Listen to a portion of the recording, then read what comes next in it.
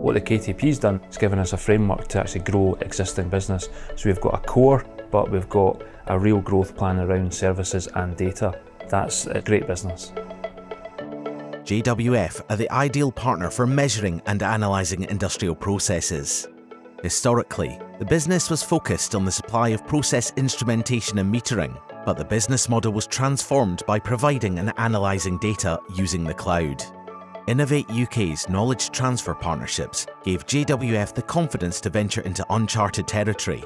Working with the University of Strathclyde, new operational capability and technology was embedded into the company. This resulted in increased revenue and a greater potential for growth. KTP was a perfect fit for JWF because what they wanted to do was so different to what the business is set up to do. We've not done a KTP before and the appeal really was that expert help. The knowledge that I'm gaining from this is how businesses can digitise, how they can embrace new technology and then offer that new technology into the market. There's a lot of impact to be created because this knowledge can then inform how other businesses work. So it's action research. We were a sales organisation. We sold measurement, we sold instrumentation. We now manage the life cycle of those products. So we sell, so we make margin. We charge for time, so that's commissioning, calibration. And then we charge subscriptions, and that's access to data. So the business is transformed. My skills have grown massively as a developer over the course of two years because I have had the support of the university, the support of the company, the flexibility to take ownership of a project.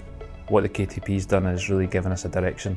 So we're very clear on what we provide, we're very clear on where we want to go, and we're really clear on what the future business models we need to make that happen. Coming out of the KTP, I'm going straight into a management role within the company, directly under the board of directors. I'm now heading up a whole function in the business. Plans for the future now, we're involved in a quite a large ERP project. Our system is for sales, it's not for service, it's not for data, so we need to build that in. Really the KTP is supporting that process as well. We're looking for big growth. New markets have been opened up to us. We are seeing a lot more inquiries coming from people like energy managers and sustainability engineers. The service that JWF offer will allow businesses to be much more efficient in their use of resource, energy.